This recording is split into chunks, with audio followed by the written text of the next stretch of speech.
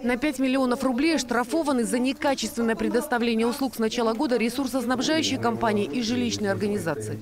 Больше половины обращений населения касается отрасли ЖКХ.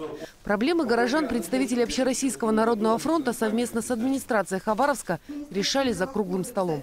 помочь нам значит, решить эту сложную проблему с управляющей компанией, чтобы она нам передала а, документы и перестала саботировать а, все вот эти вот события. Сейчас иск в суде рассматривается на признание собрания по созданию ТСН недействительным. Недействительно, да. Вот. Обвиняя Я- инициаторов Давайте этого тогда до собрания. решения суда, до вступления решения суда в законную силу не обсуждать эту ситуацию. Вот они ходят в одну инстанцию, во вторую, в третью, еще в какую-то инстанцию. Везде их отправляют, идите в суд. И когда уже обошли круги ада, к нам приходят люди с такими талмудами, и мы здесь уже как какая-то еще одна структура, которая должна это решить. На заседании рабочей группы большинство обращений касалось смены управляющей компании. Решить этот вопрос могут только собственники на общем собрании.